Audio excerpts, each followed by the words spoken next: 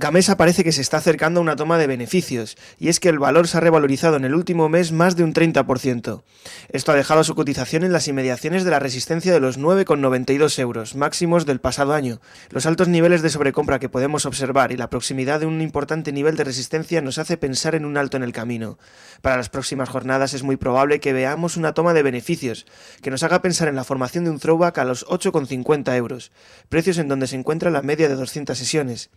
Por estos precios lo más normal es que volvamos a ver la vuelta de las compras, por lo que presenta una buena opción posicionarnos en el valor por estos niveles. A medio y largo plazo no descartamos que Gamesa busque continuar con las subidas hasta el nivel de los 13 euros.